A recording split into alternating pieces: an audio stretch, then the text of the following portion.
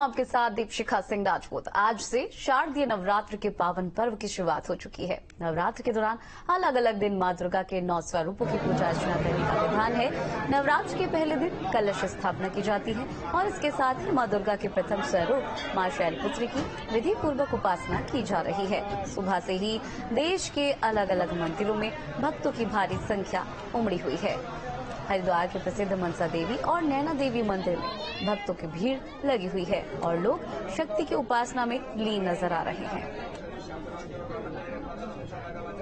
नवरात्र का पहला दिन है और आप देख सकते हैं कि जो माँ के दरबार है, वहाँ पर भक्तों की भीड़ किस तरह से लगी हुई है। हम माँ मनसा देवी मंदिर में हैं और किस तरह से आप देख सकते हैं कि लोगों का जो हुजूम है, वो उमड़ रहा है। हालाँकि अभी शुरुआती क्षण है क्योंकि सुबह का समय है तो जैसे जैसे दिन चढ़ेगा और वैसे वैसे यहाँ पर श्रद्धालुओं की जो तादाद है, वो बढ़ती जाएगी। इसके अलावा अगर बात करें तो पूरे नौ दिन तक यहाँ पर माँ के दर्शन के लिए लोग यहाँ पहुँचते हैं। देश के कोने कोने कोने से यहाँ लोग पहुँचते हैं क्योंकि तो माना यह जाता है कि माँ मनसा देवी मंदिर में कोई भी मुराद यहाँ पर मांगी जाए मन्नत मांगी जाए तो वो पूरी होती है। आ, हम लोग बात करने की कोशिश करेंगे कुछ लोगों से। आप कहाँ से आए हैं? एमपी एमपी से आए हैं। नवरात्र का समय इस समय है तो माँ के दर्शन किया आपने? हाँ किए थे ना? क्या कहेंगे आप?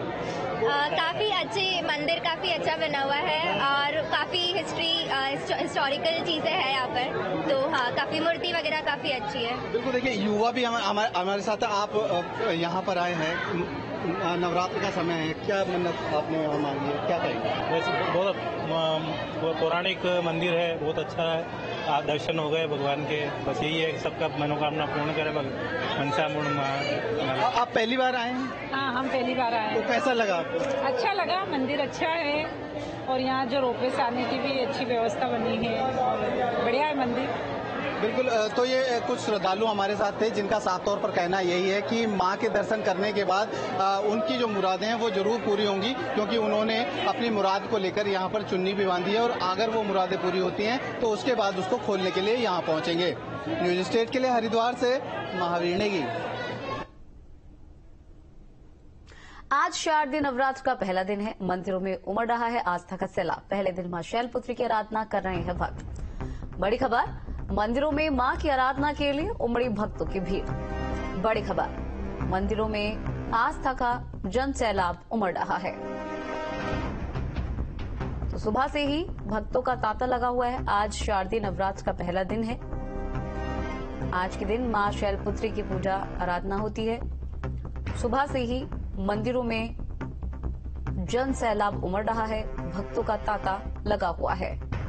सुबह से भक्त माता रानी के दर्शन करने के लिए कतारों में लगे नज़र आए। तो अब आपको हम टिहरी ले चलते हैं। दर्शन करवाते हैं टिहरी मौजूद सुरकंडा माता मंदिर के। ऐसी मान्यता है कि यहाँ पर माता सती का सर, का भाग गिरा था, जिसकी वजह से इस स्थल का नाम सुरकंडा सिद्ध पीठ पड़ा। ये मंदिर माता शक्ति के बावन सिद्ध पीठों में से एक है। नवरात्रि में यहाँ भक्तों की भारी भीड़ नज़र आती है। टिहरी के लोग इस देवी को अपनी कुल देवी मानते हैं।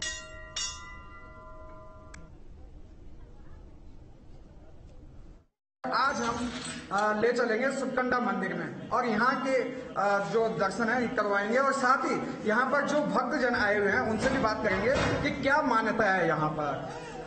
आ, क्या नाम है आपका? मेरा नाम सोनलाल जी। अच्छा क्या मान्यता है यहाँ पे? ये तो सिद्धिपीठ है महाराज जी। सिद्धिपीठ है जो भी लोग यहाँ आते सबकी मनोज पूर्ण होती है। सच्चे मन से आए तो सारी पूर्ण मन होती कोई ये खाली नहीं गया। सबकी झोली भर के गई। ये सिद्धिपीठ है माँ आदि शक्ति है। जो पूरी संसार की माँ है। बच्चे को बच्चे हो जाएँगे माँ को माता नहीं होती। तो ये तो माँ सिद्धिपीठ है। और ये जो लाखों संचारी आते हैं सबकी पूर्ण होती है सभी कामना पूर्ण होती है यही उत्तर प्रदेश से भी यहाँ पे भक्त आए हुए हैं और उन्हीं से हम बात करेंगे कि आ, क्या मान्यता है यहाँ पर और कैसे उनको यहाँ महसूस हो रहा है। आ, क्या नाम है आपका? मेरा नाम संगीता अग्रवाल है। बिजनौर से। आ, हम माता कुछ मांगा के दर्शन करने आए हैं और ये सिद्धि शक्तिपीठ है। और ये माँ सबकी मनोकामना पूर्ण करती हैं। माँ सबकी मनोकामना पूर्ण करती हैं। माता सब बच्चों की रक्षा करती हैं। जय माता दी जय माता दी। वहीं साथ में एक भक्त और हैं उनसे भी हम पूछेंगे। क्या नाम है आपका? मेरा नाम मुकेश अग्रवाल है। कहाँ से हैं आप? हम बिजनौर से।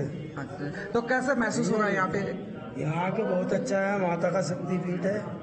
माता जगत जननी है। माँ सबकी ख्याल रखती है जो सच्चे मन से आता है उसकी सारी मनोकामना। अच्छा तो आज मंदिर में आने का हमारा थोड़ा बना था तो माता के दर्शन में गया तो कैसे महसूस कर रहे हैं बहुत अच्छा महसूस हो रहा है बहुत अच्छी जगह बहुत अच्छा इन्वायरमेंट है बहुत अच्छी बात है अच्छा लग रहा है तो नवरात्रि के उपलक्ष्य पर यहाँ पर कई भक्तजन सुकंडा माता के मंदिर के दर्शन करने पहुँचे हैं। और साथ ही यहाँ के जो पुजारी हैं, उनसे भी हमारी बात हुई। तो उनका ये कहना था कि जो भी भक्त यहाँ पर आता है, उसकी हर मनोकामना पूर्ण होती है। Arvind Nautiyal, news state Tehri Garhwal.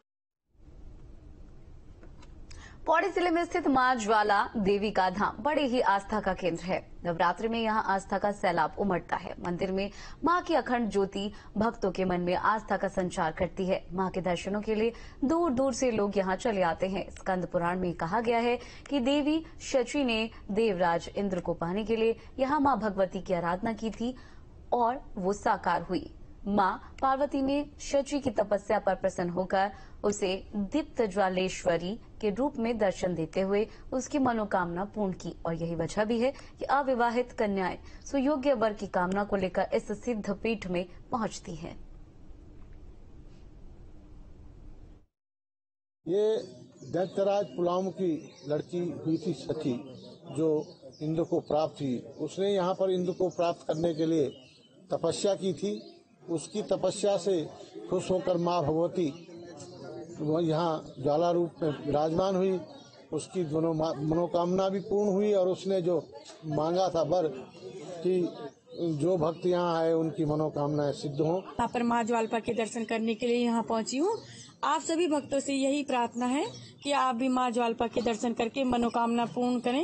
और माँ भगवती सबको मन इच्छित फल प्रदान करें। नवरात्रि का पर्व सभी सभी को सुख देने वाला है, सभी की मनोकामनाएँ पूर्ण करने वाला है। और तो हम लोग सभी यहाँ पे आए हैं, माता रानी का आशीर्वाद लेने यहाँ पे हम पहुँचे हैं। और सभी भक्तों से मैं निवेदन करती हूँ कि माता का आशीर्वाद यहाँ पे लेने आए।